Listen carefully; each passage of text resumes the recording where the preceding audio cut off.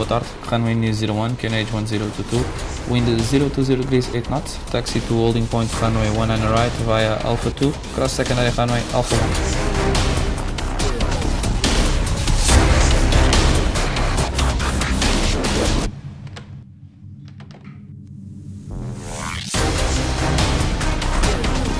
Two four one one zero.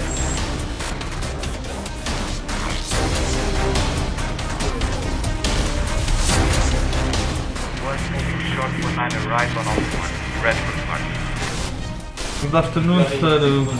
Wind uh, 060 degrees, 6 knots, runway on right, before takeoff.